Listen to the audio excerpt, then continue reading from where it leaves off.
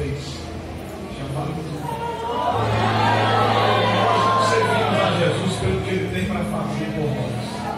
Nós servimos a Jesus pelo que Ele fez já lá na cruz. Jesus nos amou e o amor dele é diferente.